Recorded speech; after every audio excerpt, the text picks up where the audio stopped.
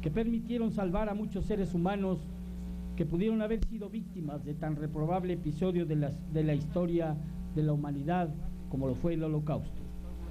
Señoras y señores, jóvenes estudiantes, distinguidos invitados especiales, el Senado de la República y el Centro de Estudios Internacionales Gilberto Bosques les da la más cordial bienvenida a esta conmemoración anual en homenaje a las víctimas del holocausto y en homenaje también a don Gilberto Bosques Saldívar. Con motivo de este evento nos acompaña el señor senador Ernesto Cordero Arroyo, presidente del Senado de la República.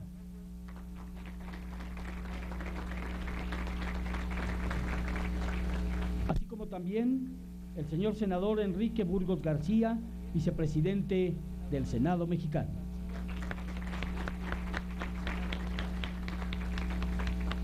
Damos también la bienvenida a la senadora Diva Adamira Gastelum, presidenta de la Comisión para la Igualdad de Género del Senado de la República.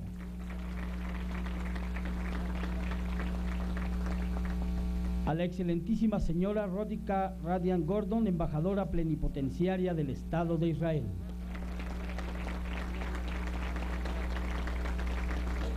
Al maestro David Dichi Abadi, vicepresidente del Comité Central de la Comunidad Judía en México. Y al doctor Leo Zuckerman, profesor e investigador del CIDE.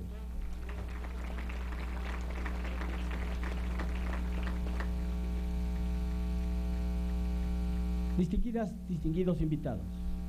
En el marco de este evento, vamos a escuchar a continuación, de acuerdo al programa del mismo, las palabras del senador Enrique Burgos García, vicepresidente de la mesa directiva del Senado de la República.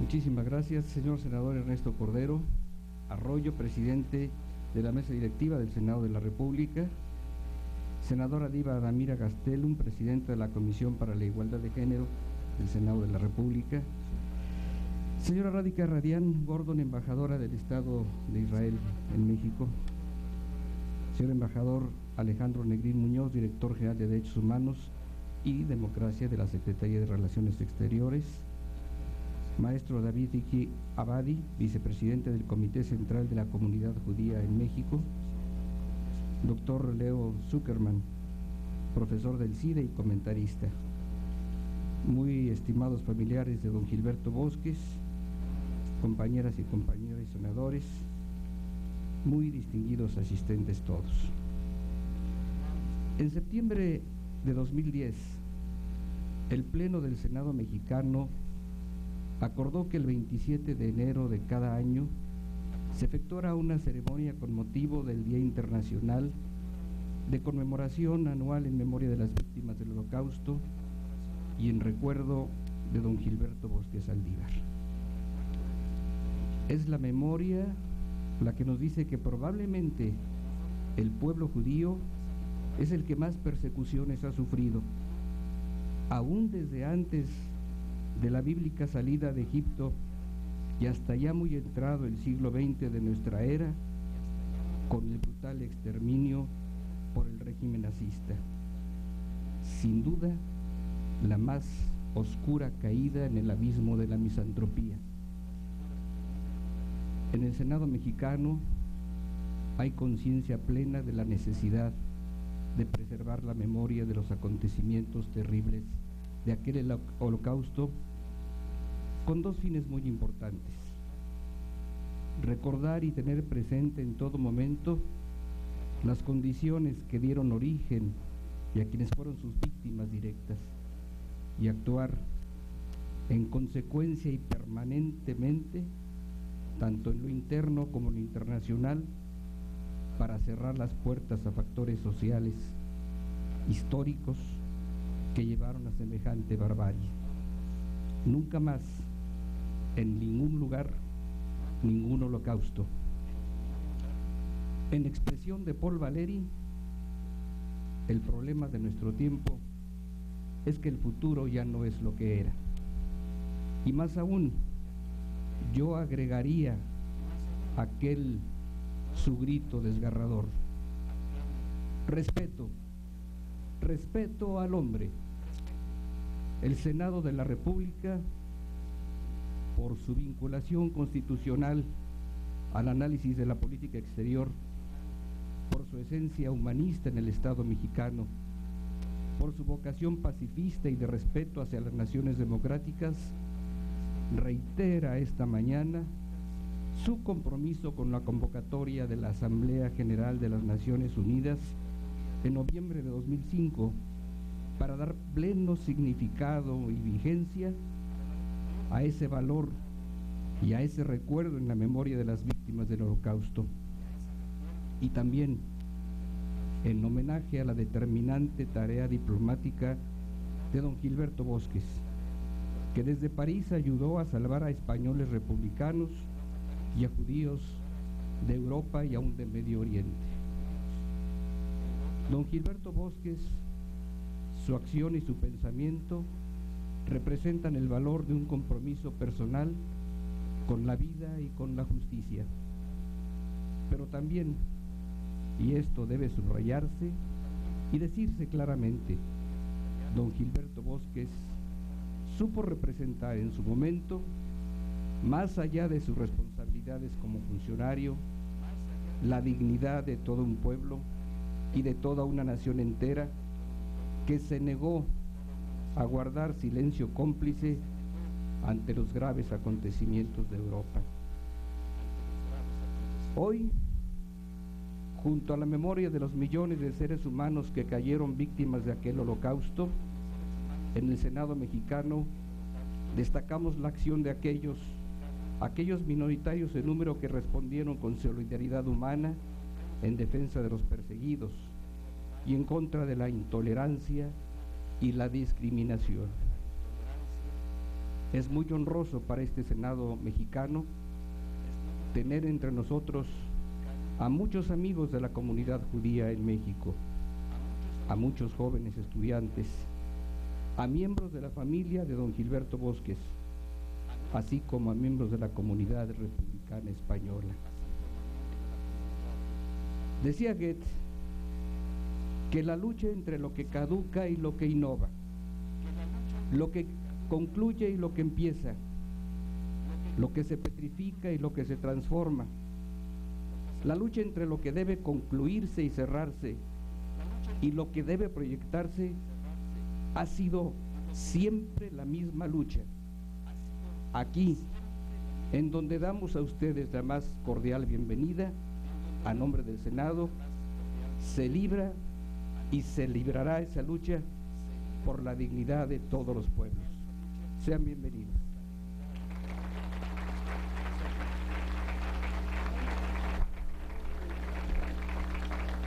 Agradecemos al señor senador Enrique Burgos estas palabras de bienvenida. Bienvenida que hacemos extensiva a quienes están aquí en este auditorio, como es el señor Powell Wozny, consejero de Asuntos Políticos de la Embajada de Polonia en México. Reiteradamente a los integrantes de la familia de don Gilberto Boll. De la comunidad republicana española, de la Unión de Sobrevivientes del Holocausto, de la Organización Internacional de Mujeres Sionistas, de la Federación Femenina de la Comunidad Judía, de Corporación Enlace Judío, de la Cámara de Comercio México-Israel, estudiantes y maestros del Colegio ATID, del Colegio Hebreo Magen David, de la Cámara de Comercio Israelí, así como también del Ateneo, de la comunidad sefaradí y de la Asociación de Hijos y Nietos de Españoles. Todos, muchas gracias por estar en este evento tan significativo. tiene ahora el uso de la palabra el maestro David Dichiabadi, vicepresidente del Comité Central de la Comunidad Judía en México.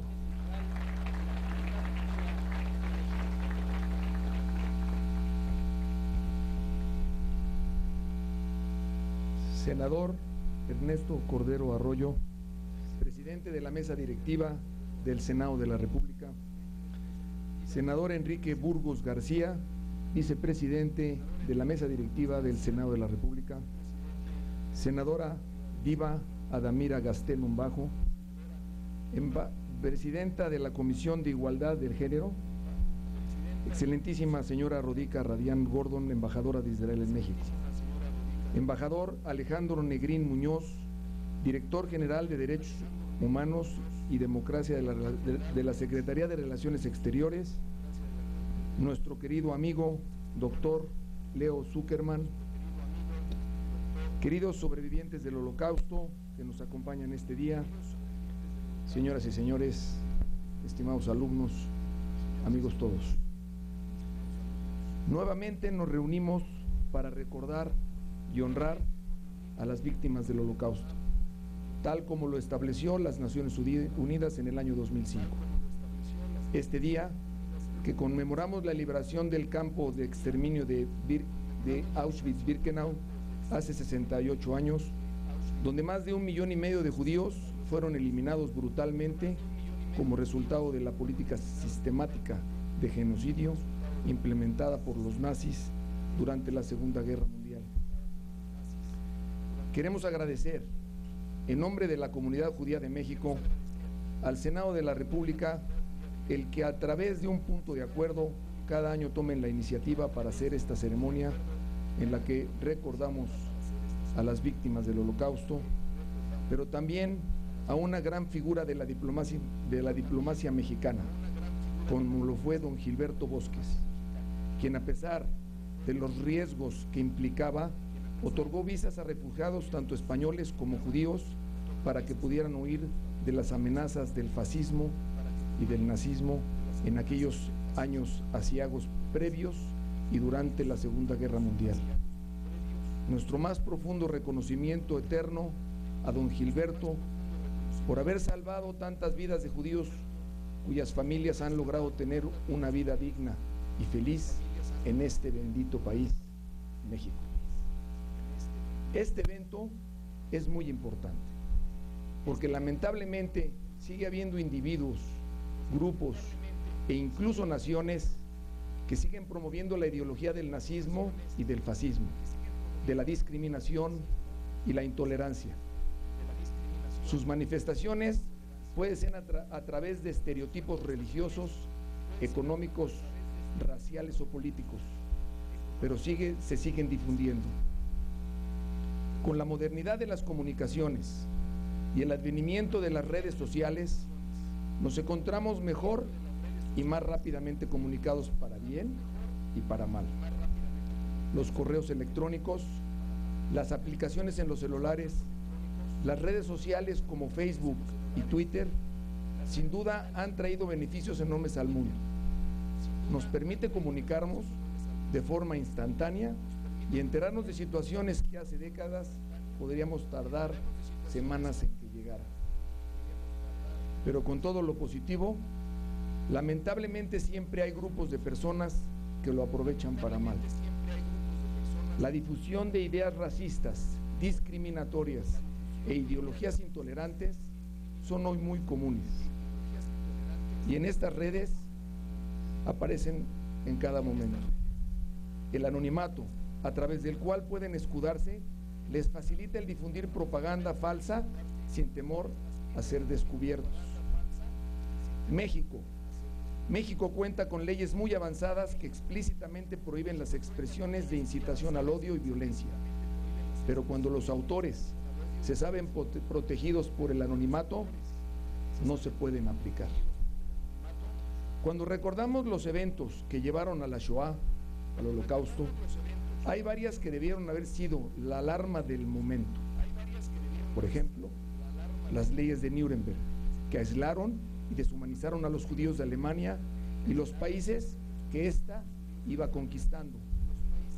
La quema de los libros de autores judíos, comunistas o enemigos del régimen nazi y la noche de los cristales rotos del 9 al 10 de noviembre de 1938, junto con toda la propaganda de Goebbels que hizo ver a los judíos como subhumanos y por lo tanto sujetos de poder ser exterminados.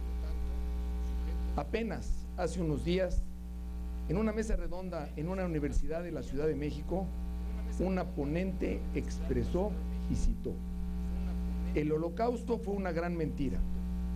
Si hubieran matado a 6 millones de judíos, ya tendríamos la suerte de que no hubiera judíos en este planeta. Fin de la cita. Esto, esto no sucedió hace 70 años. Esto sucedió hace seis días en esta ciudad. Hoy empezamos a ver ataques similares a través del Twitter que muy pronto se convierten en trending topics, con incitación al odio y a la violencia, tan agresivos como los de los años 30. Muchos antisemitas, pero otros también cuyos grupos vulnerables, como los indígenas, los homosexuales y las mujeres. Y nosotros nos preguntamos, con todos los sucesos del siglo XX, con experiencias como el holocausto, ¿cómo podemos seguir permitiendo que este tipo de expresiones continúen? Por supuesto que somos defensores y promotores de, promotores de la libertad de expresión. Cada individuo puede, porque así lo consagra nuestra Constitución, expresar sus puntos de vista libremente y sin cortapisas. Pero sin duda, ese derecho termina cuando amenaza los derechos de terceros. Las redes sociales deben ser más conscientes de este peligro, de este peligro y actuar consecuentemente contra las personas que incitan abiertamente al odio y la violencia.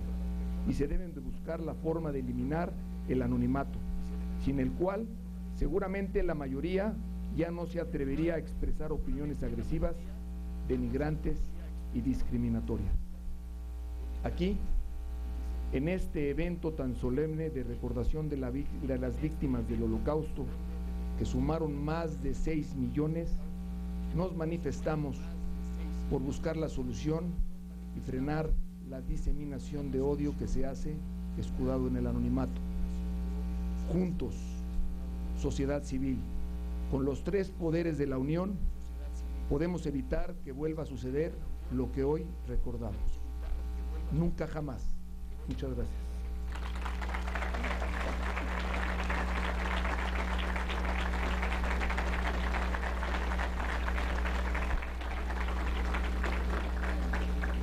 Gracias al señor vicepresidente del Comité Central de la Comunidad Judía en México, maestro David Dichi, por estas palabras. Para referirse a una visión de género, las mujeres y el holocausto, cedemos el uso de la palabra a la senadora Diva Damira Gastelum Bajo, presidenta de la Comisión para la Igualdad de Género del Senado de la República.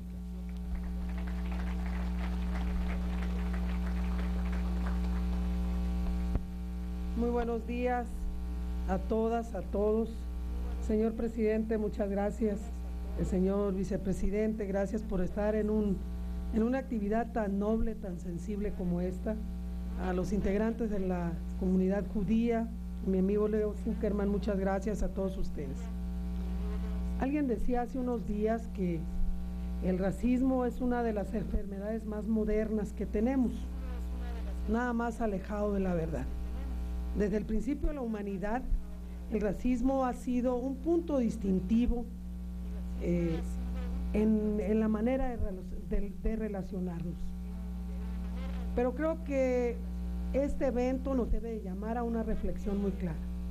Primero hay que decir que el pueblo judío es un pueblo escogido y de eso ellos no son culpables. Alguien lo escogió porque es un pueblo real, de un real sacerdocio, y así se dice, un pueblo santo, que no tienen la culpa ni los jóvenes ni los antepasados, sino que es una decisión que va más allá de las leyes terrenales, que no tiene nada que ver con la politiquería que a veces desarrollamos. Por eso yo me felicito por estar en un evento tan sensible, tan doloroso, pero que de algo debe de servir debe de, servir para llamar a una reflexión clara y seria. Cuando el racismo se adentra como una adicción, hoy las minorías padecen de ese racismo, por sexo, por religión, por color, por lugar donde viven, en donde no somos responsables. Seguramente, según mi creencia, hay una decisión clara en dónde naces y cómo naces y quién eres. Pero hoy quisiera yo llamar la atención a un punto más sensible que el propio holocausto, el tema de las mujeres judías, que es un tema muy doloroso, que como toda la historia de las mujeres se ha querido borrar, pero no lo lograrán, porque la mano de la mujer ha estado ahí pendiente de las judías, que hicieron una gran hazaña heroica, así lo dice el secretario general de las Naciones Unidas su tarea silenciosa, su tarea de trabajo, su tarea de salir adelante con hambre, del cuidado de sus hijos, de los que fueron víctimas eh, de asesinatos, de golpes, de maltrato, ahí está la mano de las mujeres. Por eso yo quisiera hacer una invitación al Senado de la República, al presidente de la mesa directiva, para escribir la real historia de este holocausto que lo escribieron las mujeres judías.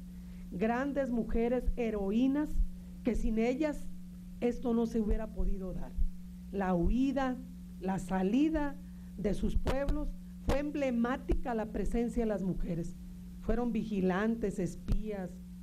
Se pudieron confundir que era difícil para saber cuáles eran las artimañas del enemigo y poner a salvo su familia y poner a salvo una raza que es orgullo de este mundo.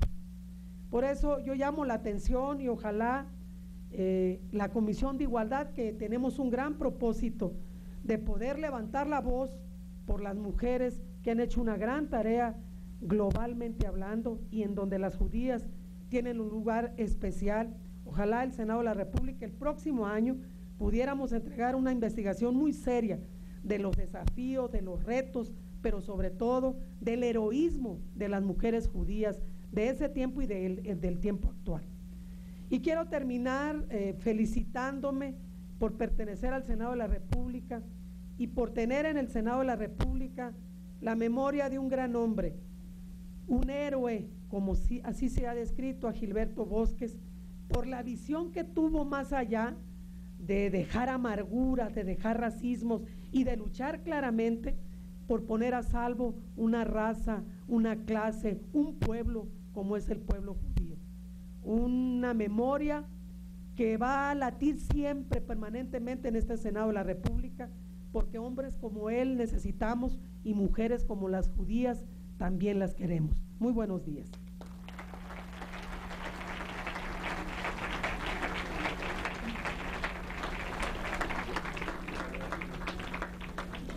Muchas gracias, senadora Diva Gastelum, presidenta de la Comisión para la Igualdad de Género del Senado mexicano. Invitamos ahora a hacer uso de la palabra a la excelentísima señora Rótica Radian Gordon, embajadora plenipotenciaria del Estado de Israel.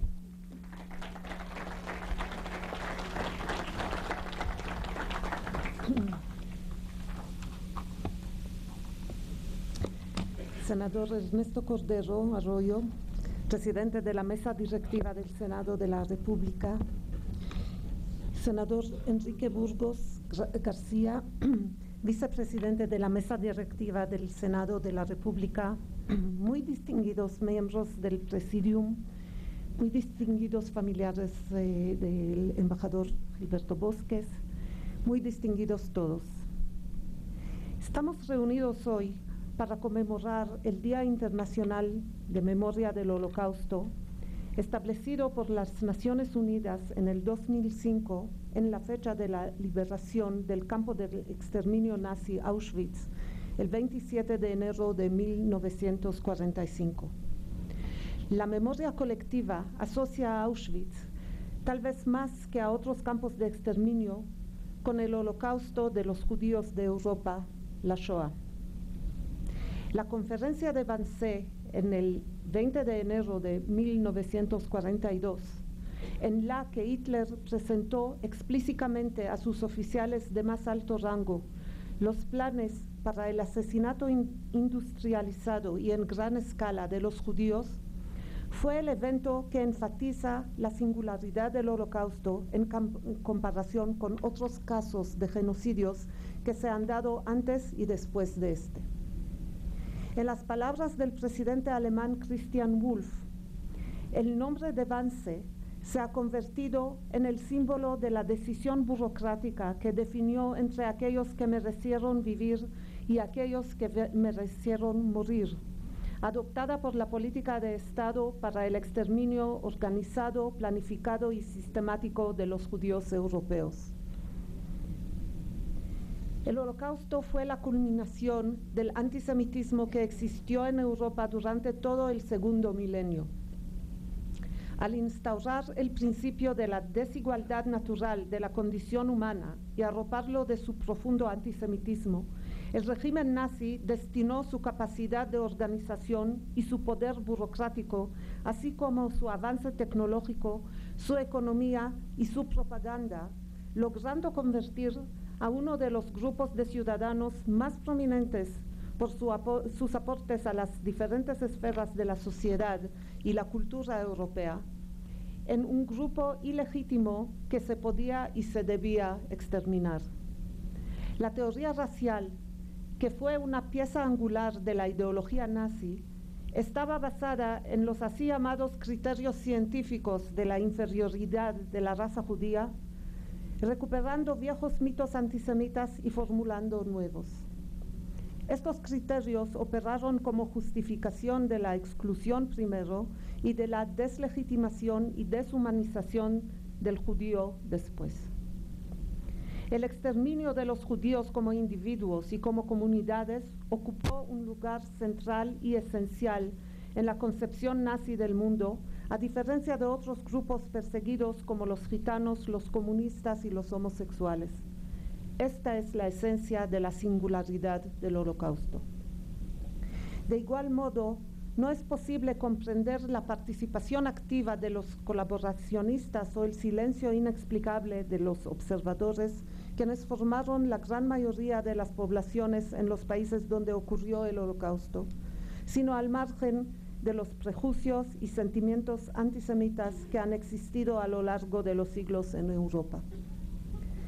Entre los temas más investigados del holocausto están la resistencia de la sociedad judía y el rescate. Hay que destacar que nuevas fuentes de documentación siguen apareciendo aún hasta el día de hoy por ejemplo, estas semanas el Instituto Yad Vashem publica nuevos documentos sobre la vida cotidiana en algunos guetos que se encontraban en territorio soviético y que en 1942 fueron exterminados por los nazis. La contribución de la mujer judía en general a la sobrevivencia de su familia y su comunidad parece ser primordial las mujeres judías no solamente tuvieron que salir de la esfera privada de la casa a la esfera pública de la comunidad, sino también tuvieron que luchar por su vida y las vidas de sus familiares.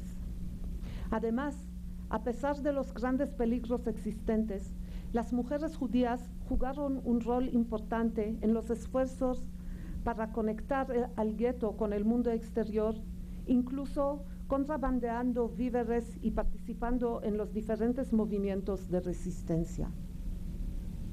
El rescate eh, durante el holocausto, que es el tema elegido por la ONU este año, fue la historia de una pequeña minoría de personas. Las investigaciones sugieren que más mujeres que hombres estuvieron involucradas en el rescate de los judíos, quizás por un mayor nivel de empatía hacia el cruel destino de estos. Cuando los judíos tocaban puertas para pedir ayuda, los observadores tuvieron que decidir de modo inmediato si apoyar o no. En general, la decisión estaba basada en un instintivo gesto humano que quizás después se transformó en una decisión de tipo moral. En algunos casos, quienes rescataron ofrecieron mayor apoyo a medida que pasaba el tiempo. Hubo casos que de brindar protección inmediata por algunos días, La ayuda se prolongó por meses, años e incluso hasta el término de la guerra. El riesgo fue enorme y variaba según el país. En Europa del Este los rescatadores arriesgaron no solamente sus propias vidas, sino las de sus familiares. En Europa Occidental el castigo nazi fue un poco menos severo, aunque algunos de los rescatadores fueron enviados a campos de concentración donde murieron. Pero tanto rescatadores como rescatados vivieron siempre con el temor de ser descubiertos y por ello todos tuvieron que mantener un modo de vida alterno a las normas aceptadas de las sociedades donde vivían. La mayoría de los rescatadores eran gente común y corriente, que igual actuaban con determinadas políticas ideológicas o religiosas, o eran gente simple conmovida por el cruel destino de los otros. El apoyo podía ser tan solo en abastecer algo de comida o conducirlos con personas que podrían ofrecer eh, resguardo. Solamente unos cuantos tomaron responsabilidad total de la sobrevivencia de los judíos y ellos son los que han sido reconocidos por el Estado de Israel como los justos entre las naciones. El pueblo judío, a través del Instituto Yad Vashem, Centro Mundial para la Investigación, Documentación y Enseñanza del Holocausto, se empeña en realizar la labor de, documentación puntual de todos los casos excepcionales. Hasta hoy en día, cerca de 20.000 personas, cristianos y musulmanes de varias nacionalidades, recibieron la medalla y el título de Justos entre las Naciones, aunque es muy probable que este número sea mayor. Una categoría especial entre los justos son aquellos muy pocos diplomáticos que eligieron apoyar a los judíos solamente por el hecho de ser judíos. En todos los casos reconocidos, dichos diplomáticos actuaron desafiando las políticas de sus gobiernos y las órdenes de sus superiores, conscientes del precio personal que tuvieron que pagar por sus decisiones que fueron en contra de políticas oficiales insensibles.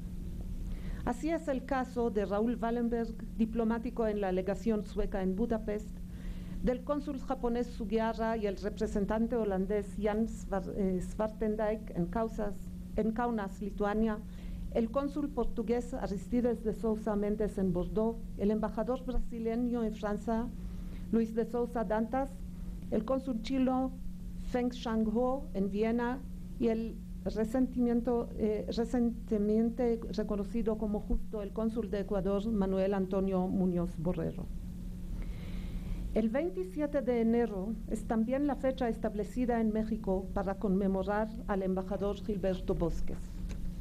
Gilberto Bosques, un hombre valiente y con un coraje extraordinario, también fue uno de los muy pocos diplomáticos que no se mostraron indiferentes hacia el destino de los perseguidos por los fascistas y por los nazis.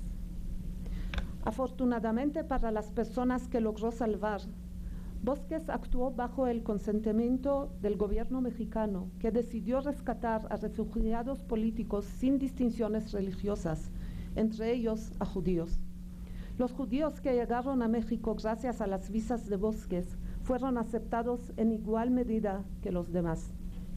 De hecho, el gran drama para los judíos en los tiempos en que la única opción de supervivencia era el eh, abandono del continente, eh, del continente europeo era que la política migratoria fue crecientemente restrictiva y como judíos no fueron, eh, no fueron considerados exiliados políticos, quienes gozaron de la opción de salvataje. Su suerte fue determinada por su militancia política y claro está, su condición judía no fue objeto de discriminación. El gran papel libertario de México se vio entonces fundamentalmente ejemplificado en la apertura de puertas al exilio español. De ahí que las políticas mexicanas, en comparación con las de la mayoría de otros países, aunque no fue de una apertura hacia los judíos, sí permitieron en momentos dados el ingreso de pequeños grupos de personas de origen judío. La memoria del holocausto y su estudio sistemático y riguroso se hacen cada vez más imperiosos en la medida en la que nos alejamos de los acontecimientos y la memoria se construye como narrativa. Aprender de la historia significa para cada cultura, cultura, pueblo o nación que el gran desafío no es matizar o ocultar el pasado, sino modificarlo con un compromiso con el presente con la acción solidaria, con la tolerancia, con la sensibilidad hacia el otro necesitado de apoyo. De ahí la importancia de la enseñanza de este acontecimiento histórico como un evento singular que tiene significados universales y la necesidad de combatir sistemáticamente el antisemitismo en todas sus manifestaciones, así como ciertamente todos los tipos de racismo, discriminación, xenofobia y todo genocidio dirigido específicamente en contra de un determinado grupo político, étnico u otro. La designación del 27 de enero como Día Internacional del Holocausto es una contribución de suma importancia de las Naciones Unidas a este esfuerzo. Muchas gracias.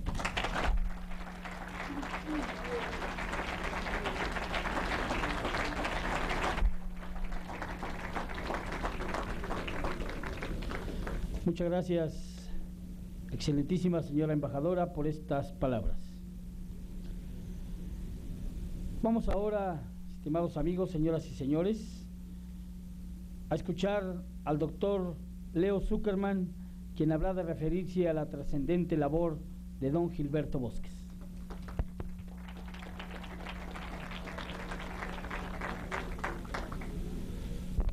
Muchas gracias, muy buenos días embajadora Rodica Radián, eh, señor presidente del Senado de la República, Enrique, perdón, Ernesto Cordero, eh, senador Enrique Burgos, senadora Diva Gastelum, eh, el vicepresidente del Comité Central David Dichi, muchas gracias.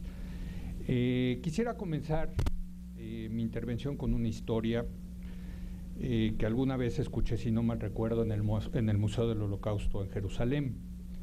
Durante la Segunda Guerra Mundial, en una barraca miserable de un campo de concentración, un judío religioso se paraba todas las mañanas a rezar. Un día otro de los presos judíos se acercó y le preguntó, ¿por qué rezas? El religioso le contestó, para darle gracias a. El preso, famélico, desesperado, le reclamó para dar gracias a Dios. ¿De qué? ¿Acaso no te das cuenta de la situación en la que estamos? ¿De cómo los nazis nos tienen encarcelados? ¿De cómo han ultrajado a nuestras mujeres? ¿De cómo han matado a nuestros hijos y parientes en las cámaras de gas? No entiendo. ¿Qué hay que agradecerle a Dios en esta situación tan desdichada? El religioso tranquilo le contestó, que nosotros no somos ellos. Si no mal recuerdo, como les digo, escuché esta historia del holocausto en Jerusalén y me pareció fantástica porque sintetiza, creo, el tema de la moral, de las acciones de las personas desde el punto de vista de la bondad o de la malicia. Nosotros, la gente que nos pensamos de bien, Efectivamente no somos como ellos, como la gente de mal. Somos mejores que ellos. Y lo tenemos que demostrar día con día. Daniela Gleiser, quien es investigadora de la Universidad Autónoma Metropolitana, ha escrito un libro muy recomendable que se llama México y los refugiados judíos, un libro académico eh, muy cuidado en su investigación. Ahí están las historias de lo que fue la locura del nazismo, de cómo fueron acorralando a los judíos en Europa, de México y sus eh, respuestas institucionales frente a este tema y de la también respuesta de la comunidad judía mexicana. Para los judíos hay que decirlo, México no fue un país de puertas abiertas. Lo fue con los españoles republicanos y con los perseguidos de las dictaduras sudamericanas y qué bueno que así haya sido. Pero en el caso de los judíos se impusieron los prejuicios que evitaron que el gobierno les diera el estatus de refugiados y de perseguidos. El resultado es que no se pudieron salvar más vidas. De acuerdo a la investigación de Daniela Gleiser, fueron 2.000 los judíos que fueron salvados por México. Desde luego que bueno que se salvaron estas vidas, pero me parece que es muy poco para un país del tamaño de México. Y aquí entra la historia, la historia importante del día de hoy, la historia de un verdadero héroe mexicano de Gilberto Bosques. Don Gilberto nació en 1892 y murió a los 103 años en 1995. De joven, todavía en la adolescencia, se unió al movimiento revolucionario. De acuerdo al gran historiador Frederick Katz, que también, por cierto, su familia fue salvada por don Gilberto Bosques, eh, de acuerdo a Frederick Katz, eh, don Gilberto peleó en las filas de Venustiano Carranza, fue diputado en la Convención Constituyente por su nativo Estado de Puebla en 1916 y organizó uno de los primeros congresos sobre educación que llevó a cabo el nuevo, el nuevo gobierno revolucionario. Fue partidario, uno de los partidarios más fervientes del presidente Lázaro Cárdenas. Bosques tuvo siempre convicciones políticas contrarias al fascismo, que en aquellos años, hay que decirlo, era una opción política bastante popular en el mundo y también aquí en México, en varios segmentos de la sociedad mexicana. El presidente Cárdenas lo nombró su cónsul en Francia con sede en el puerto de Marsella. Bosques llegó ahí en 1939 y desde su posición diplomática se dedicó a salvar la vida de miles de refugiados. Por un lado, expidió miles de visas para que viajaran a México integrantes del derrotado ejército republicano español y algunos luchadores internacionalistas que también habían peleado en España en contra del franquismo. Por el otro, el cónsul también había, eh, el, cónsul también libró visas a judíos que se habían intentado, internado, perdón, al sur de Francia huyendo del nazismo, incluso contraviniendo la política migratoria restrictiva que México tenía con los judíos perseguidos. Y este es un punto muy importante. En ese momento, la política del Estado mexicano no era una política de puertas abiertas, sino era una política migratoria restrictiva. Y en ese sentido, Gilberto Bosques contravino esa política migratoria.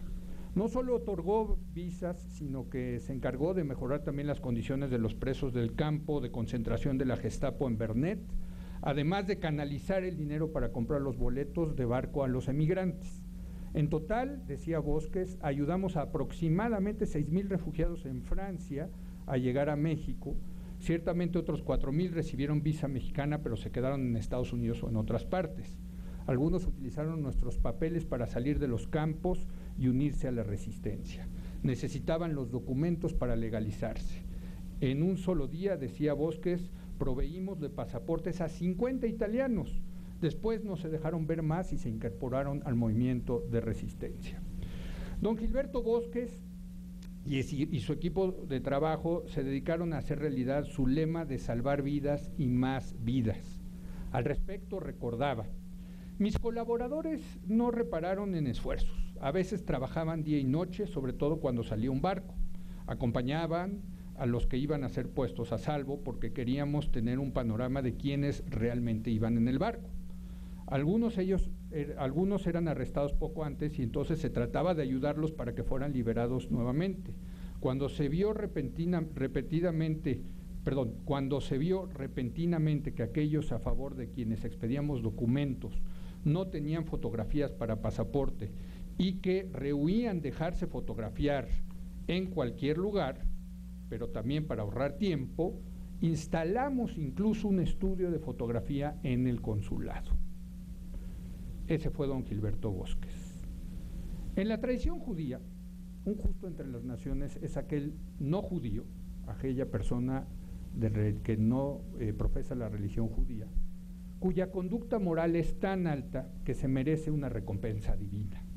El Museo del Holocausto Yad Vashem, ubicado en Jerusalén, utilizó este concepto para homenajear a aquellos gentiles que ayudaron a salvar vidas de algún judío durante la persecución nazi en la Segunda Guerra Mundial. Dice el citado museo, en un mundo de debacle moral generalizada hubo una pequeña minoría que supo desplegar un extraordinario coraje para mantener los valores humanos en pie. Ellos fueron los justos entre las naciones, que remaron contra la corriente general de indiferencia y hostilidad que prevaleció durante el holocausto. Contrariamente a la tendencia generalizada, estos salvadores venían, veían a los judíos como seres humanos comunes y corrientes, incluidos dentro de su universo de obligaciones. Y ofrece eh, el Museo del Holocausto conductas de justo entre las naciones durante el Holocausto, ocultamiento de judíos en los hogares de los rescatadores o en sus propiedades, falsificación de documentos o identidades, traslado clandestino y asistencia para la fuga, o el rescate de niños. Yad Vashem tiene identificados un total de 24.356 justo entre las naciones, de los cuales solo seis son latinoamericanos. Dos brasileños, un chileno, un cubano, un ecuatoriano y un salvadoreño.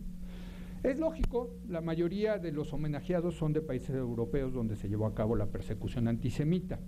No hay ningún mexicano, lo cual me parece en lo personal una injusticia y así lo he dicho una y otra vez porque por lo menos en esa lista debería haber uno que claramente se lo merece y que se llama Gilberto Bosques. Es una verdadera pena que Yad Vashem aún no lo haya reconocido como un justo entre las naciones. Se trata de un pendiente que la comunidad judía le debemos a este mexicano heroico. Y termino retomando la historia con la que comencé. Lo que nos decía aquel judío religioso de que nosotros no somos ellos y que le daba gracias a Dios, es que hay mujeres y hombres con una estatura moral más alta que la de los demás. Tenemos que darle gracias a Dios precisamente que existen esos seres humanos.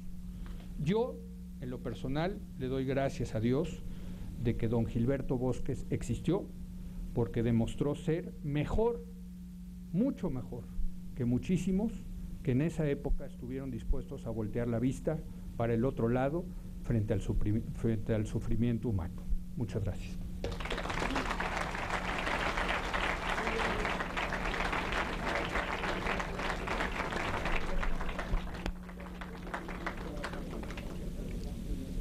Muchas gracias, señor doctor Leo Zuckerman, por esta referencia en torno a esa etapa de la historia humana a la que hoy nos referimos, el holocausto.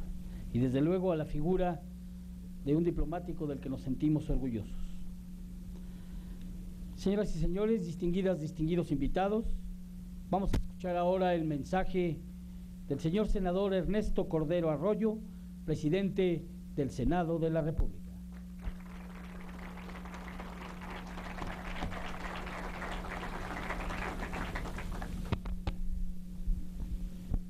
Muy buenos días a todos.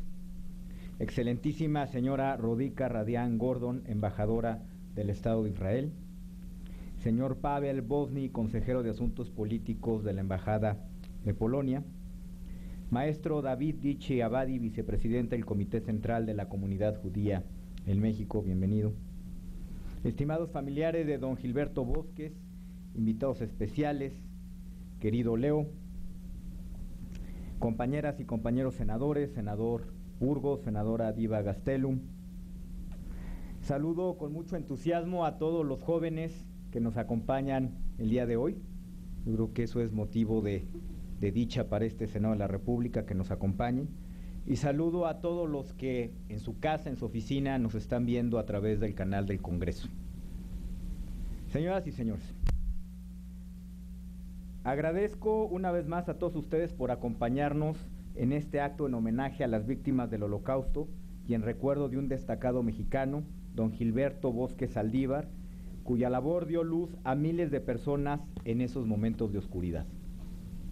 Quiero agradecer también de manera especial a los que me acompañaron en esta mesa, cuyas intervenciones han dado a esta conmemoración una perspectiva diferente sobre los acontecimientos del Holocausto y el desempeño humanista de don Gilberto Bosques. Saludo y doy la bienvenida al Senado de la República, a la embajada Radian Gordon, al maestro David Dichi y a todos nuestros invitados de la comunidad judía, una de las que tiene el mayor respeto en nuestro país. Sin duda, el México moderno no se entendería sin las aportaciones de los integrantes de esta vibrante comunidad en las ciencias, en las artes, la cultura, la industria y las empresas. En lo personal, tengo la dicha de contar con el cariño de amigas y amigos judíos, Bienvenidos sean a esta, su casa, estimados amigos.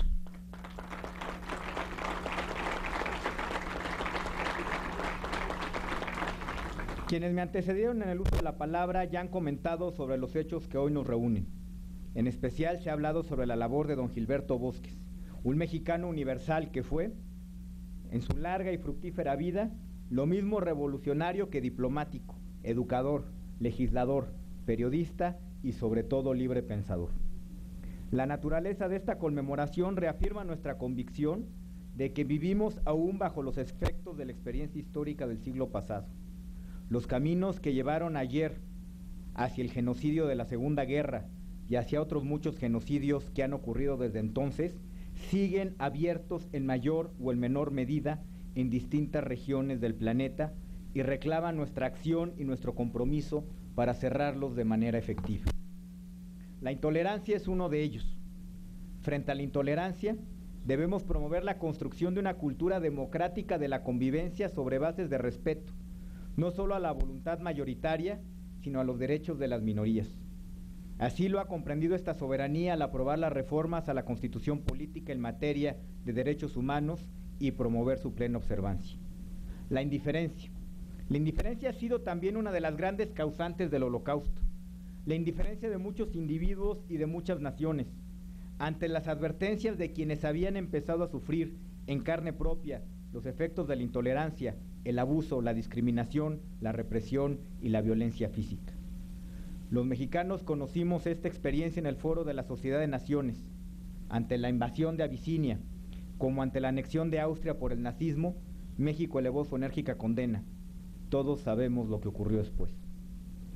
Frente a la indiferencia resulta fundamental fomentar las relaciones internacionales sobre bases de respeto pleno al derecho internacional y a los principios fundamentales de convivencia entre las naciones, así como promover la participación ciudadana de manera informada y comprometida.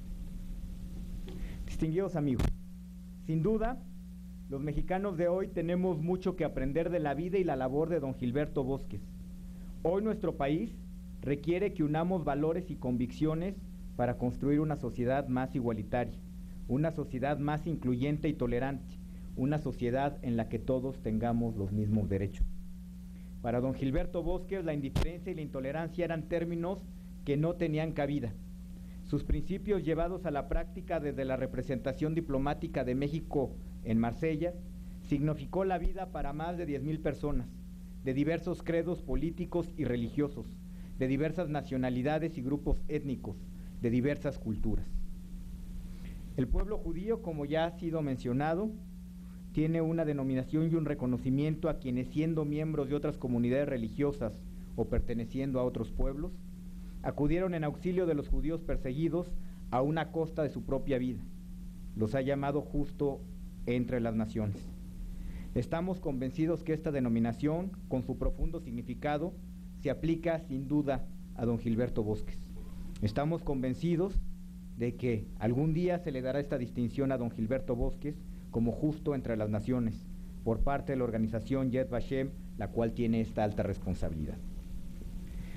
Don Gilberto Bosques fue un diplomático que cumplió con las instrucciones que le fueron asignadas por el gobierno de México, pero también estamos convencidos, como ya lo señaló Leo Zuckerman, y así lo comprueban muchos de los que salvaron su vida, que las duras circunstancias prevalecientes sobre el terreno en el que actuaba lo llevaron en varias ocasiones a tener que elegir entre limitarse a cumplir la instrucción y abandonar a muchas personas a su suerte, o asumir una mayor responsabilidad personal y salvar otras muchas vidas.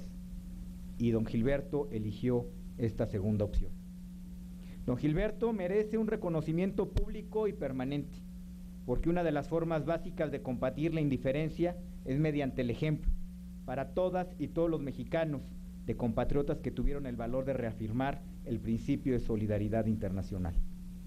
Para concluir, quiero subrayar la importancia de seguir edificando instituciones democráticas sólidas para garantizar las libertades y los derechos de los ciudadanos, de las comunidades religiosas, de los grupos étnicos y de los sectores más vulnerables de nuestra sociedad, pero sobre todo para garantizar la paz social, la convivencia entre todos y el respeto a la palabra libre. A nombre del Senado, les agradezco nuevamente su asistencia a esta conmemoración. Invito a los jóvenes a que conozcan el Senado de la República, el Senado de su país. Y también los invito a que me acompañen a la inauguración de la exhibición fotográfica Retorno a la Vida. Muchísimas gracias.